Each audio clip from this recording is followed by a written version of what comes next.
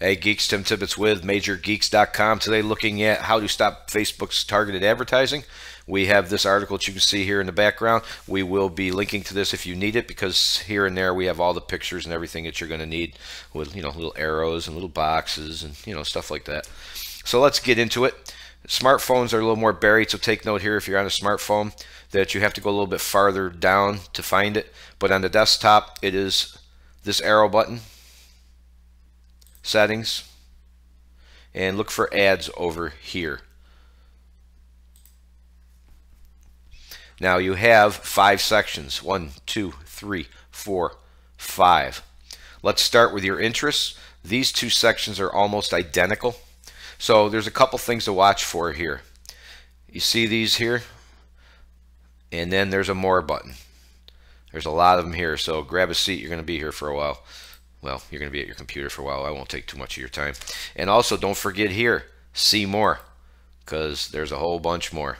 And you can keep clicking see more until, well, until there are no more. Makes sense. So there you go. So what you want to do here is, now that you know about where to look for everything, is find something that you're not interested in. I don't know, uh, BMW. And just click that X. Change your mind. I, I can't imagine why. Just you can add it back just like that. Pretty easy. Let's close that and we'll go to advertisers. Advertisers is very, very similar as I mentioned. See they come across here and there's a little bit more. And there's a little bit more over here. So you want to find something you don't want, click X. And sometimes some of these categories will show different things. So for example here now ads that you've clicked, if I don't want to see Garage Smart. I can click this little arrow right here and hide ads. There's no removal, just hide. So you're almost doing Facebook a favor on that one. Your information, a little bit about you, your categories, and as you can see here, everything's pretty well explained. Here's all the categories they've added me to. Under the About You, relationship status, employer, job title, education. This is the big four in here. So you could turn them on with a click, turn them off. And finally, not finally, we got two more. Ad settings. You have three categories. Take each category and click it anywhere in the whole box. It gives you all the information you need and you can simply pick allowed or not allowed. That's it. So do that for all three. And finally, hide ad topics.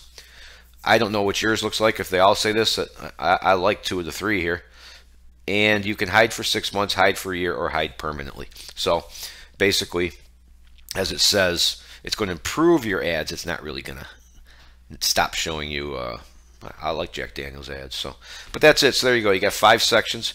Pick through them one at a time. Do not forget to expand on the see more, or you'll miss a lot of stuff. And don't forget to check your categories here.